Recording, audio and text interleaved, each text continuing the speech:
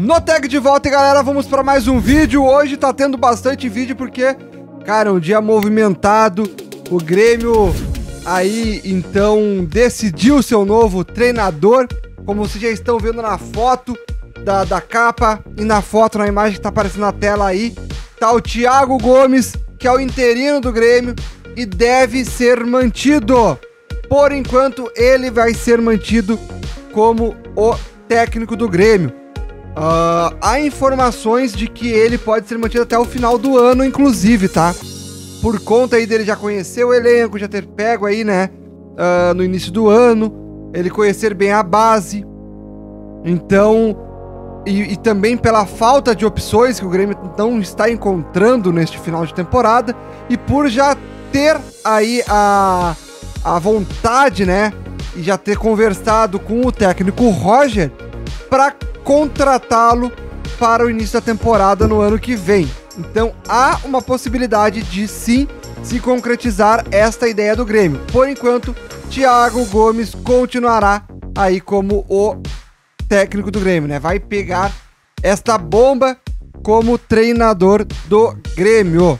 Porém, gurizada, há também o outro lado, tá? Pode ser que se o Grêmio encontrar o outro treinador, que esteja disposto a pegar o Grêmio nessa fase e, e que for a, a, a, do gosto aí do, do Grêmio, né? Do, presidente Romildo, enfim.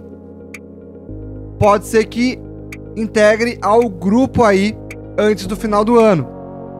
Mas, cara, sinceramente, eu acho que se não for Roger, ah, eu acho que o Grêmio deveria investir mesmo no Thiago Gomes, que já está ali no Grêmio.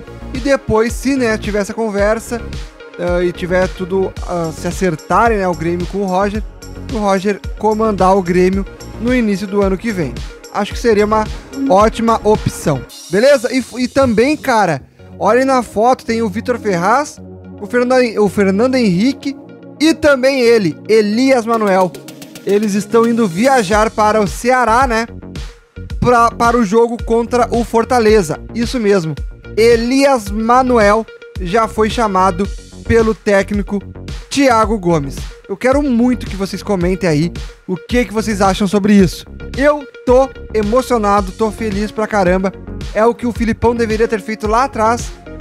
E agora o Thiago Gomes, na sua primeira pegada do, do, do time, né? Depois da fase do Filipão, já vai colocar o Elias Manuel, que é uma grande, uh, um grande jogador, um grande nome que nós, a torcida tricolor, estávamos pedindo há tanto tempo.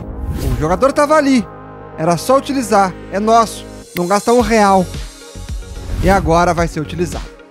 Beleza? Cruzada, sigam aqui o canal, se inscreve, deixa o teu like e me segue no Instagram também.